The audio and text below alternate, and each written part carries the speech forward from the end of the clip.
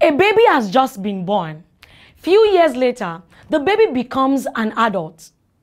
Some years later, the baby is now called an old man or woman.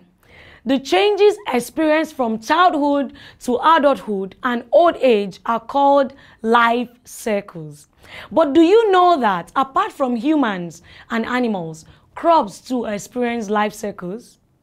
Classification of crops based on life cycles are annual crops. These are crops that grow and complete their life cycle within a year. For example, cotton, cowpea, yam, and rice. We have the biennial crops. This means crops which take two years to complete its biological life cycle. Thirdly, we have perennial crops, which are crops which grow and complete their life cycle in more than two years. For example, banana, orange, cocoa, and coconut. Trust you had fun learning in this lesson. See you in the next lesson. Bye.